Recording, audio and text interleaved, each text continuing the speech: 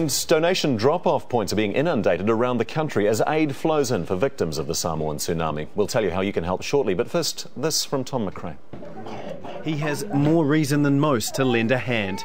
Losing the uncle and cousins and nephews and nieces, which is um, devastating.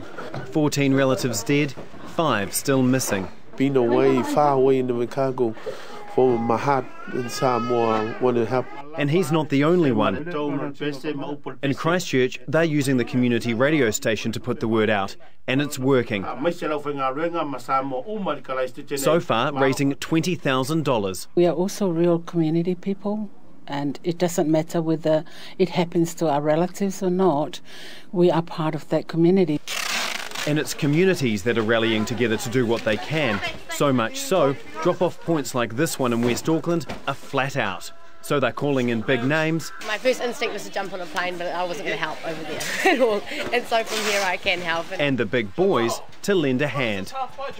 It's not just clothes and food. The push is on for building materials as well. And there are other priorities. Staff here at Christchurch Hospital are stepping up to lend a hand. The Ministry of Health say over 430 doctors and nurses from around the country have volunteered. The ministry is taking names and liaising with authorities. The next challenge is getting them and everything else over to Samoa.